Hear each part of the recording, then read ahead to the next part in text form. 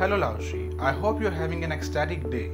So today we would like to introduce you an advanced and very novel way of using TCM in conjunction with Western medicine. As we all know that there are significant differences between TCM and Western medicine, in West it is prevailing view that a drug must be a highly purified substance or some synthetic agent. However, TCM uses a different aspect, that is holistic approach, which uses multiple herbal medicine to work in conjunction in order to treat a syndrome. However, vagueness of syndrome complexity of formula used in TCM are very complex.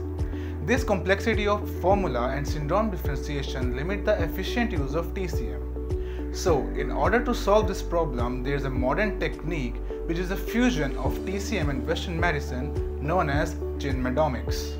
In today's presentation, we will have a detailed look on what Chinmedomic is, how does it work, what are its application and what's the conclusion. So, what exactly Chinmedomic is? It is a new discipline emerging in recent years.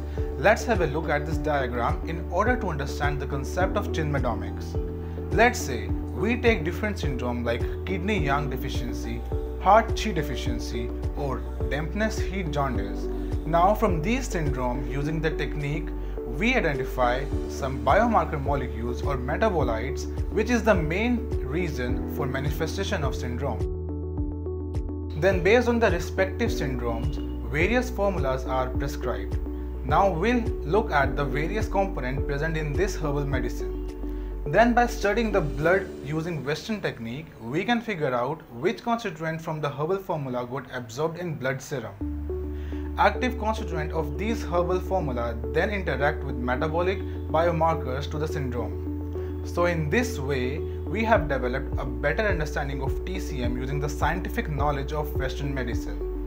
Did you know the artemisinin, which is the active constituent of Qinghao with anti-malarial activity, was developed using the method of Chinmedomics. Youyou Tu was even awarded Nobel Prize for this discovery.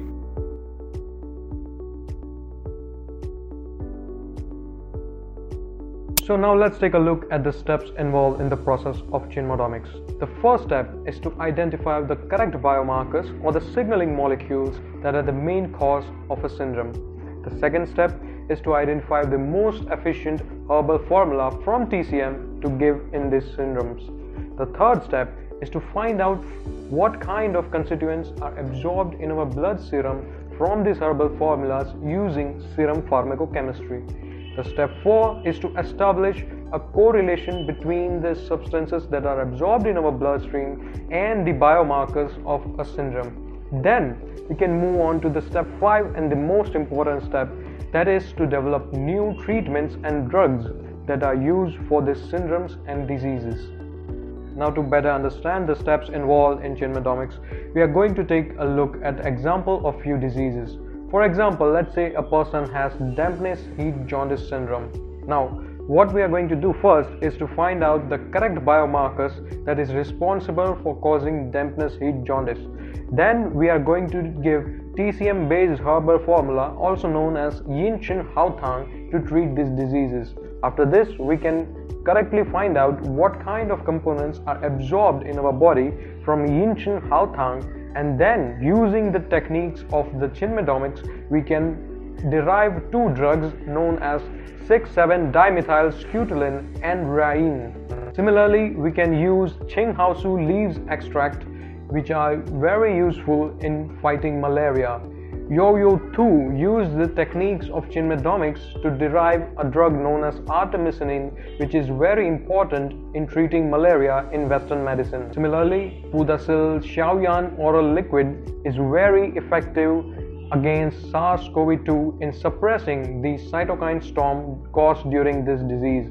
So, by taking a look at all these examples, it is clear to understand by using TCM techniques with the help of scientific methods in this western medicine we are able to derive new treatments and drugs which were previously not possible.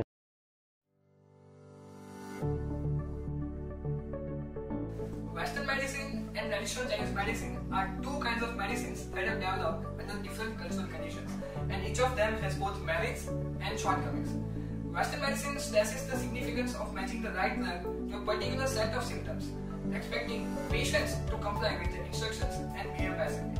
It treats the patients using external agents or interventions, drugs, surgery, radiation, etc. On the other hand, TCM focuses on the stress management, nutrition or exercise techniques for healing, which use our natural capabilities. It also emphasizes on the capacity of the human mind and body to self-heal. Now, putting into the simple words, Chinmedomics approaches to build a disease diagnosis and treatment system with combined features of TCM and Western medicine. Nowadays, more and more people realize that each of the two medical traditions has its own values and advise that the two systems should benefit from each other's strong points. This integrated approach will ultimately lead to a safer, faster, and more effective healthcare. Chinmedomics provides oh, a way of understanding herbal medicines that simultaneously adopts the same law and the herbal formula, two of the most important elements in clinical applications of TCM.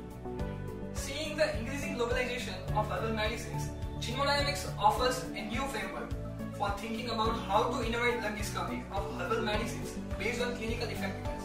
And thus, it is an idea whose time has come. An idea of combining diverse treatments, including TCM, Western medicine, and possibly other variants, which can work in conjunction with each other as a part of unified team rather than in a competition.